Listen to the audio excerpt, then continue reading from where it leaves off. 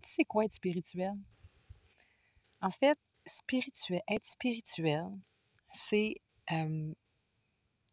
d'accepter l'expérience que ton esprit te propose. Puis pas ton esprit, ton mental.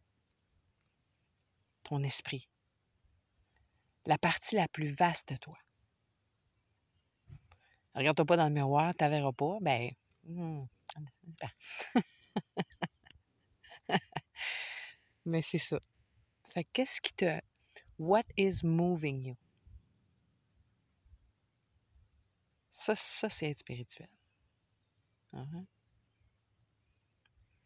Pas faire 14 mantras, puis euh, un équilibre sur la tête, puis être plus spirituel que, que tu as, lu des livres plus, bien plus spirituels que ton voisin ou que tu as eu une expérience euh,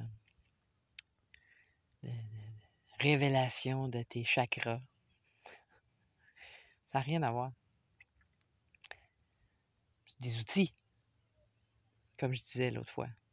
Mais ça n'a rien à voir. Être spirituel, c'est dans ton daily life.